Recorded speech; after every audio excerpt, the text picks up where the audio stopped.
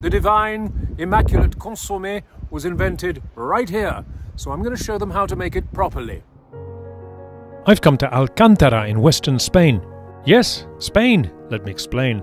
Here's the immaculate, divine, and perfectly executed bowl of consommé.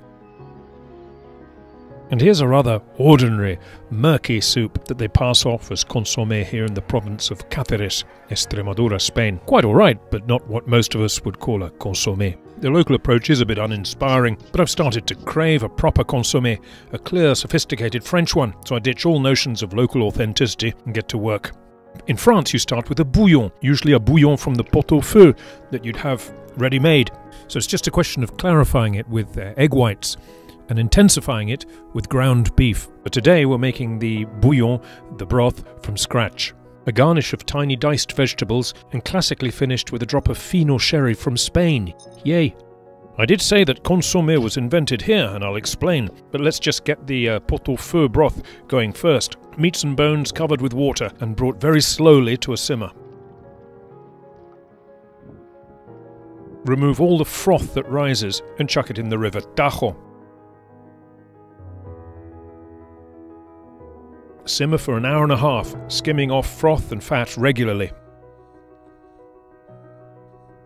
So, according to local accounts, during the Spanish War of Independence in 1809 or thereabouts, a collection of recipes, including one for the consommé as well as a, a simple French omelette, uh, was stolen from this monastery and taken, taken to France and sort of passed off as their own. A French omelette? This really is getting hard to believe. After an hour and a half of gentle simmering, the vegetables, herbs, and spices join the meats and bones. Simmer for a further hour and 30 minutes.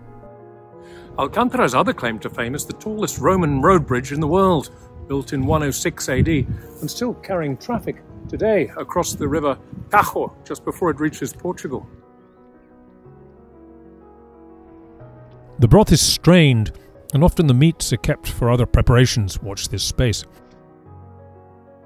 The soup is flavourful and excellent as is, but it still needs to be intensified and clarified to reach perfection and to qualify as a consommé. And here's what we need finely diced or julienne tomato, celery, leek, and carrot. The liver, if using, is finely diced by hand.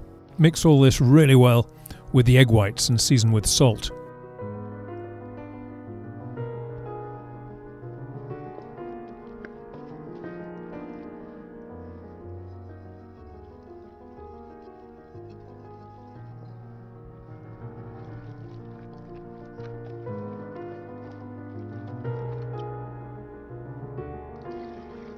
Stir in the appropriate amount of broth.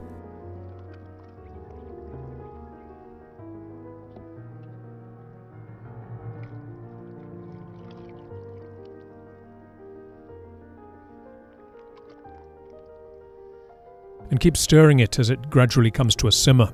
The constant stirring will enable the egg whites to catch hold of all the impurities, eventually forming a floating, coagulated raft. As the raft starts to form, stop stirring once you see an eruption on the side of the pan, turn down the heat to minimum and form a little gap through which the bubbles can rise. Adjust the position of the pan on the flame a little to the side. It's important that the bubbles only break through at one spot on the edge of the pot. Simmer for 40 minutes to an hour. Diced vegetables, carrot, turnip or potato, peas, and celery are blanched in salted water until just tender and cooled immediately in cold water to stop the cooking.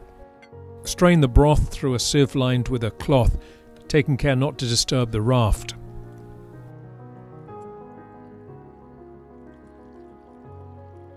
Et voila, as clear as light tea.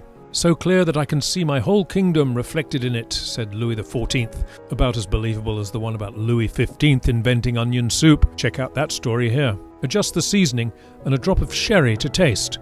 And there we have the most elegant soup known to man, served at the soup's very place of origin. Links to the recipes for French onion soup and the classic pot au feu mentioned in the video are in the description. And please do like the video if you enjoyed our visit to Alcántara in Cáceres, Extremadura, Spain. Hasta luego.